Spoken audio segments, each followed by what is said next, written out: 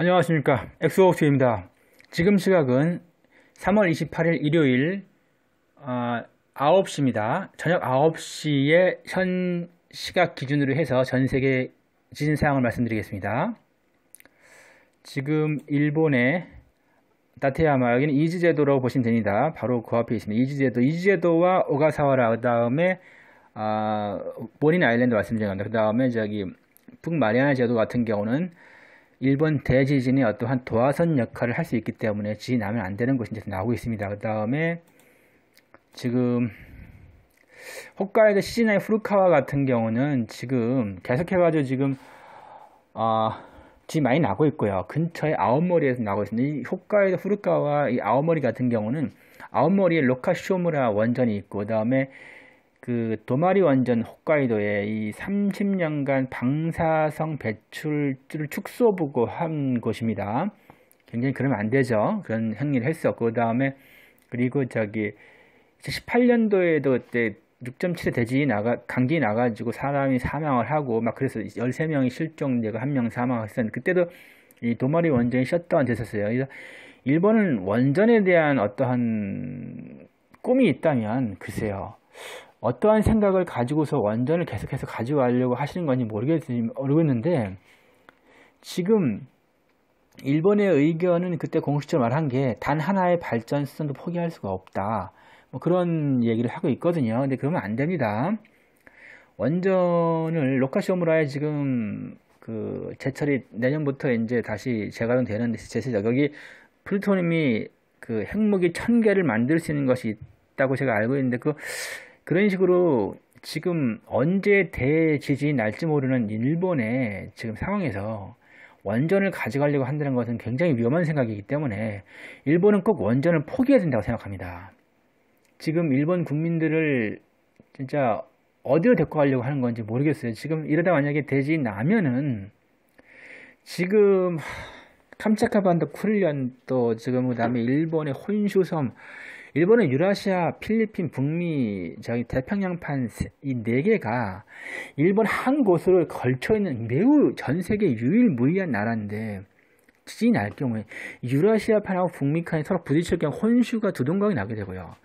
지금 저 그 유라시아하고 북미 그 다음에 저기 그 필리핀판이 이 후지산 같은 경우는 거기에 접해 있는 곳이에요. 지금 후지산 폭발과 이 혼슈선 폭발도 침몰도 당연시 될 수 있는 만큼 굉장히 위험한 지역인 위험한 국가인데 여기다가 지금 원전을 가지고 간다고 지금 요나쿠니하고 오늘 요나쿠니 지진 났죠? 그 다음에 계속해가지고 오키나와 쪽 지진 나고 있지 않습니까? 여기에 지진이 좀 크게 날 경우에는 어떻게 되겠어요? 근처 중국도 생각을 해야죠. 중국 같은 경우는 무슨 죄가 있습니까? 중국만 그래요 한반도 역시 마찬가지 될수 있습니다. 지금 지금 서, 아키타 얼마 전에 지진 났죠. 서해상에서 만약에 한 7.0 이상 나면 지난번처럼 예전처럼 동해상으로 우리 일본 서해상의 강진이 동해상에 영향을 줄 수, 한반도에 영향을 줄 수가 있다. 더군다나 이 오키나와 같은 경우는 연합군 이런 데는 지금 대만에도 피해를 줄 수가 있고 더더군다나 대만만 피해를 주겠어요? 그거 아니죠. 지금 저기 한반도에도 쓰나미가 올 수가 있단 말이에요. 더더군다나 지금 연합군이 오늘 것 같은 오키나와보다 대만이 더 가까워 대만에 피해를 줄 수가 있는 겁니다. 대만과의 직선거리가 110km 정도뿐이 안 돼요.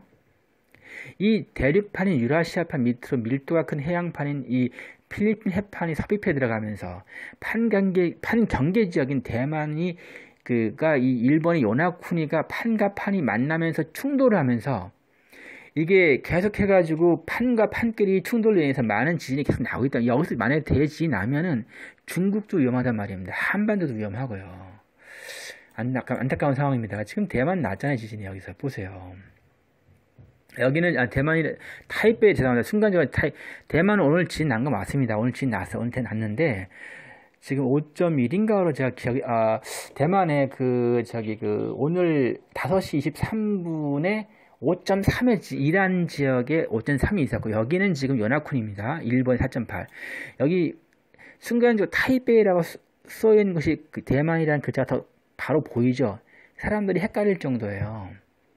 연합군이 지진 났지 않습니까? 그래서 연합군이 나오고 지금 세 번 났어요. 제, 제 편에서. 그 다음에 여기 다테야마 이지제도 앞이죠.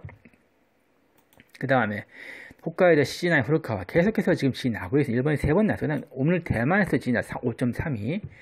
중국에서 지진이 났고요. 방송을 했죠. 이게 안타까운 상황인데 계속해가지고 지금 아, 하와이죠 여기는 하와이 2.5 그리고 캘리포니아 이슨 안드레아스 계속 지금 치고 4점이 굉장히 강제예요. 미국 굉장히 위험합니다 최근에요. 오클라호마 지금 계속 지금 위험하죠. 안타까운 상황 계속 지금 벌어지고 있어요. 지금 미국에. 미국 지금 캠, 그 캄차카 반도하고 지금 이 알래스카 이거 어떻게 하겠어요? 이 알류산 열도 계속 지금 나잖아요. 알래스카. 알래스카. 4.5, 3점이 계속 지금 나죠. 알래스카. 알래스카, 알래스카. 이게 몇 개예요? 이게 여섯 개죠. 아, 쿠릴 열도까지 치고 다니면서 어떡하자는 얘기 지금. 굉장히 심각한 상황입니다. 뭐 심각하지 않다고 여기는 사람이 있을지도 모르겠는데 글쎄 대부분의 지진학자들은 심각하게 보고 있습니다. 뉴질랜드 4.4 아, 안타까워요. 지금 피지. 지금 뭐 일부의 주장은 그런 사람들도 있어요. 항상 우리는 많이 지진 나고 있다. 뭐 뭐 사쿠라지마 항상 난다. 뭐 우리 보고 뭐뭐 뭐 불안하다 그러는데 당, 그, 그런 주장이 그러니까 뭐 남북한 전쟁 난다고 그러는데 뭐 항상 불안하냐? 뭐 똑같아. 우리 맨날 지진 난다. 우리 아무렇지도 않다. 이렇게 얘기하는데 글쎄요. 그렇게 주장이 아무도 할 말이 없나. 하지만 대부분의 그 지진학자들은 일본의 대지진이 곧 날 것이라고 지금 판단하고 있습니다. 페루 4.8, 칠레 3.5, 오죽하면은 그런 얘기를 하겠어요. 답답하면은 또 그렇게 이해하고 4.5. 오죽 답답하면 그런 얘기를 하겠냐만, 포르토리코죠. 네.